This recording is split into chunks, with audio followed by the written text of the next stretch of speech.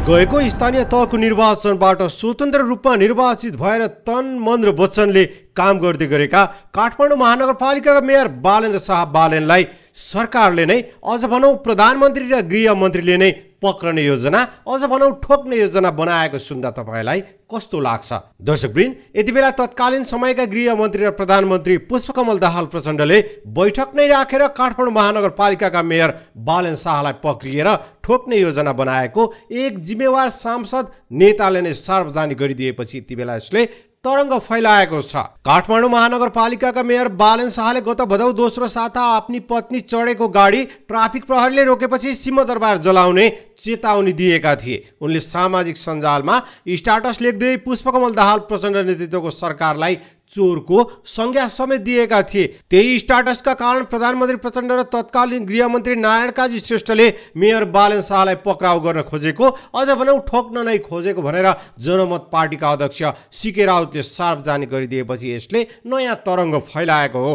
अध्यक्ष राउतले कान्तिपुर टेलिभिजनको फारसाइड कार्यक्रममा अन्तर्वार्ता दिँदै त्यति बेला मेयर शाहलाई पक्राउ गर्न प्रचण्ड सरकारले गोप्य बैठक डाकेको समेत खुलासा गरेका छन्। बडो गोप्य तरिकाले बैठक बसेको थियो। एजेन्डा थाहा थिएन। उनले अन्तर्वार्तामा बताएका छन् बैठकमा प्रधान सेनापतिदेखि प्रहरी प्रमुख र उपत्यकाका तिनवटै जिल्लाका सिडिओहरू समेत सामेल भएका थिए। सिके राउतले उक्त बैठकमा पुगेपछि मात्र थाहा पाए काठमाडौँका मेयर बालन शाहले लेखेको स्टाटसका कारण उनलाई पक्राउ गरौँ भनेर बैठक नै डाकिएको रहेछ। सिंहदरबार जलाउने धम्की र सरकारलाई चोरको संज्ञा दिएका कारण क्रुद्ध बनेका प्रचण्डले उक्त बैठकमा राउतसँग सल्लाह समेत मागेका थिए। के गर्ने भनेर उनले सोधेका थिए। त्यति बेला काठमाडौँका मेयरलाई कुनै हालतमा पक्राउ गर्नु हुँदैन भनेर आफूले सल्लाह दिएको समेत राउतले बताएका छन्। सम्माननीय प्रधानमन्त्रीजीले मलाई के गर्ने भनेर सोध्नुभयो। नयाँलाई नयाँले समर्थन गर्छ भन्ने उहाँलाई लागेको होला। मैले भने उहाँलाई कुनै हालतमा पक्राउ गर्न हुँदैन। मेयर बालेन शाहको स्ट्याटसमा झन्डै सवा लाख जति कमेन्ट आएका छन् तीमध्ये पन्चानब्बे प्रतिशतमा सरकारलाई तीव्र गाली गरिएको छ। उहाँको समर्थन छ तर उहाँहरूले के हामी चोर हौ? हामीलाई यस्तो भन्ने पक्राउ त गर्नै पर्छ भन्नुभयो राउतले कान्तिपुर टेलिभिजनमा बताएका छन्। मेयर शाहलाई पक्राउ गर्नुपर्छ भन्नेमा प्रधानमन्त्री प्रचण्ड र गृहमन्त्री नारायण काजी श्रेष्ठको अडान चर्को रहेको उनले दावी गरेका छन्। उनले बताए उहाँहरू जसरी पनि ठोक्नुपर्छ भन्ने भाषा प्रयोग नै गरिरहनु भएको थियो। नेपाली काङ्ग्रेसका सभापति शेरबहादुर देउवाले भने बालन शाहलाई पक्रन हुँदैन भन्ने अडान राखेको उनले खुलाएका छन्। लोकतन्त्र छ यस्तो बोलिराख्छन् भनेर देउबाजीले भन्नुभयो बोल्दैमा कहाँ आगो लगाइयो त? बोल्दैमा के हुन्छ? बोल्न पाउनुपर्छ भन्ने उहाँको भनाइरहेको थियो। राउतले बताएका छन् उक्त बैठकमा काङ्ग्रेस सभापति र माओवादी अध्यक्षको फरक विचारबाट आफूले लोकतान्त्रिक शक्ति र वामपन्थी शक्तिबीच फरक देखेको पनि राउतले जिकिर गरेका छन्। त्यो दिन मैले पहिलोपटक महसुस गरेँ लोकतान्त्रिक शक्ति भनेको कस्तो हुन्छ र वामपन्थी शक्ति भनेको कस्तो हुन्छ? उनले बताएका छन् दुईजनाको दृष्टिकोण र अभिव्यक्ति नै फरक हुँदो रहेछ। एकाएक यति बेला मेयर बालेन शाहलाई समाएर ठोक्ने योजना प्रधानमन्त्री र गृहमन्त्रीले नै बनाएको भन्ने कुरा बाहिर निस्किएपछि बालन शाहका समर्थकहरू चिडिएका छन्। के साँच्चै मेयर बालन शाहले त्यति बेला सिंहदरबार जलाउनै खोजेका थिए कि उनको आक्रोश प्रतिनिधि आक्रोश रहेको थियो? यति कुरासम्म छुट्याउन नसक्ने सरकारले काठमाडौँ महानगरपालिकाको मेयर जो जनप्रतिनिधि हो र यही व्यवस्था अन्तर्गत चुनिएर आएको छ उसैलाई समाएर विरोध गर्यो भन्दैमा ठोक्ने प्रवृत्ति कतिसम्मको सत्य हो भन्ने प्रश्न पनि यति बेला उब्जिएको छ।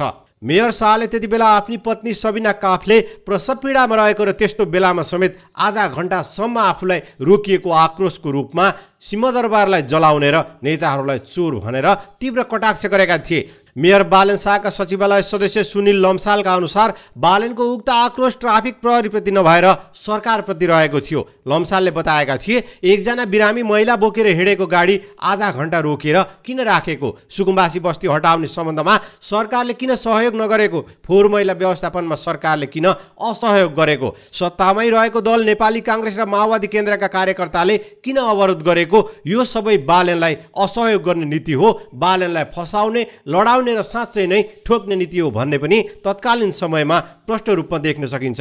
यी सबैको विस्फोट हो। बालनको उक्त अभिव्यक्ति। मेयर बालनका सचिवालयका अनुसार पेट चिरेको महिलालाई आधा घन्टा होल्ड गर्नु सही नभएको जवाब पनि तत्कालीन समयमै मेयरको सचिवालयले फर्काइसकेको छ। यति बेला भने मेयर बालेन्द्र शाहलाई समाएर ठोक्ने नै योजना बनाएको तर शेरबहादुर देउवाका कारण उक्त कुरा रोकिएको घटना बाहिर आएपछि उक्त समाचारहरू बाहिर आएपछि र एक जिम्मेवार सांसदले टेलिभिजनको सार्वजनिक कार्यक्रममै यसको पर्दाफास गरिदिएपछि जनताहरूमा सरकारप्रतिको विश्वास समेत उडेको आकलन गर्न थालिएको छ भने यदि कसैले कुनै पनि आवेगमा सरकारलाई प्रतिनिधित्व गर्ने गरी जवाब फर्कायो भने उसलाई साँच्चै यो सरकारले ठोक्ने रहेछ कि भन्ने शङ्का पनि उब्जिएको छ। यसलाई म भ्यागुते प्रवृत्ति भन्छु। बरु भ्यागुतालाई समातेर जोख्न सजिलो होला तर अहिलेको सम्मान्य प्रधानमन्त्रीज्यूलाई त्यति कमसल नठान्नु होला। म चाहिँ भन्न चाहन्छु। कतिखेर कता कुन विदेशीले यसरी धाप मारिदिन्छ कताखेर बुल्लुक्क उफ्रिहाल्नुहुन्छ कुन बेला थाहै हुँदैन। र यो उफ्राइले गर्दाखेरि यहाँ काठमाडौँमा मात्रै धक्का परिकम्प गइ जाँदाखेरि त केही थिएन। सातवटै प्रदेशका सरकारहरू पनि गर्लाम गुल्लुम ढालिदिन्छन्। अनि जनताले यातना भोग्नुपर्ने यो देशले यातना खेप्नुपर्ने देशले घाटा बेहोर्नु पर्ने। अनि उहाँ बडो गर्वका साथ भन्नु पनि हुन्छ फेरि म मा मिस्टर उथल पुथल हो। म बाँच्दासम्म यो देशमा उथल पुथल भइराख्ने छ। मानव उहाँ शेषनाग हुनुहुन्छ र यो धरती चाहिँ नेपाल उहाँको शिरमाथि अडेको छ। तर उहाँले याद राख्नुपर्ने कुरा के हो भन्दाखेरि हरेक शेषनागको लागि कृष्णको अवतार पनि हुने गर्दछ। त्यो पनि उहाँहरूले याद राख्नुपर्ने कुरा हो।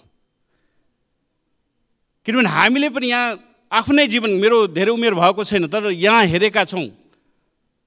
जति बेला यहाँका दरबारहरूको अगाडि डोरी लगाउन बाध्य भइन्छ नि त्यति बेला जनताले परिवर्तन खोजेको हुन्छ। अहिले तपाईँहरूले ठाउँ ठाउँमा निषेधित क्षेत्र घोषणा गरेर डोरी तन्काएर कति बेलासम्म घेर्न सक्नुहुन्छ? कति बेलासम्म आफ्नो राज सिंहासन बचाउन सक्नुहुन्छ? त्यही भएर जनताले त्यो अवमूल्यन नगर्नुहोला। जनता सधैँभरि मूर्ख नै छन् भनेर जे भने पनि हुने जस्तो आरोप लगाइदिने दिँदा पनि हुने भनेर अवमूल्यन नगर्नुहोला म भन्न चाहन्छु। हुन त सबैजनाले यहाँ सङ्घर्ष गरेर यहाँसम्म आउनुभयो। त्यसको लागि म धन्यवाद पनि दिन चाहन्छु। र म नामै लिएर पनि डराउँदिनँ। नेपाली काङ्ग्रेस होस् कि एमाले होस् कि माओवादी होस् सबैले सङ्घर्ष गरेर यो व्यवस्था ल्याएको हो। र ठुलो बलिदान र सङ्घर्ष पश्चात नै यो सङ्घीय लोकतान्त्रिक गणतन्त्र आएको हो। यसलाई हामीले सकारात्मक मानेका छौँ र नामै किटेर भए पनि हामी सबै पार्टीलाई धन्यवाद पनि त्यसको लागि हाम्रो पुस्ताका तर्फबाट नै तपाईँहरूलाई धन्यवाद पनि दिन चाहन्छु। तर यो व्यवस्था पर्याप्त छैन भनेर देखाउन अहिलेको घटनाक्रमले मजाले देखाइराखेको छ। यसमा कुनै एउटा पात्रको मात्रै दोष छैन। यो यो व्यवस्था यसरी रहेसम्म यो दोहोरिराख्छ। यो भ्यागुते प्रवृत्ति दोहोरिराख्छ। रातारात सत्ता परिवर्तन भइराख्ने छ त्यही भएर हाम्रो पार्टी जनमत पार्टीले यही कुराहरूको विश्लेषण गर्दै नौलो गणतन्त्र यसको मतलब यो कि हामी यो व्यवस्थामा दोष देखियो भनेर पछाडि फर्किने पनि होइन। योभन्दा अगाडि पनि जाने ठाउँ छ है भनेर जनमत पार्टीले नौलो गणतन्त्र सामाजिक लोकतन्त्रको व्यवस्था प्रस्तावित गरेको छ। आज मानौँ त्यो नौलो गणतन्त्रमा हामीले प्रत्यक्ष निर्वाचित कार्यकारिणी प्रधानमन्त्रीको परिकल्पना गरेका छौँ। प्रत्यक्ष निर्वाचित मुख्यमन्त्रीको परिकल्पना गरेका छौँ। मानौ अहिले नै प्रधानमन्त्रीज्यू प्रत्यक्ष निर्वाचित भइदिएको भए यसरी हुने थियो त? कहिले हुने थियो? उहाँ पाँच वर्ष मजाले ढुक्कले चलाउन सक्नुहुन्थ्यो। कस कुनै विदेशीको इसारामा उहाँले आफ्नो वचन फेर्नै पर्दैन थियो। किन उहाँ जनताबाट निर्वाचित भएर आउनुहुन्थ्यो? त्यही भएर अबको निकास यो देशको निकास यदि दिन सक्छ भने नौलो गणतन्त्रले नै दिन सक्छ प्रत्यक्ष निर्वाचित कार्यकारी प्रधानमन्त्री प्रत्यक्ष निर्वाचित मुख्यमन्त्रीले नै दिन सक्छ र हामीले यो पनि भनेका छौँ कि यसरी मन्त्री हानथाप गर्नुपर्ने व्यवस्था पनि चाहिँदैन।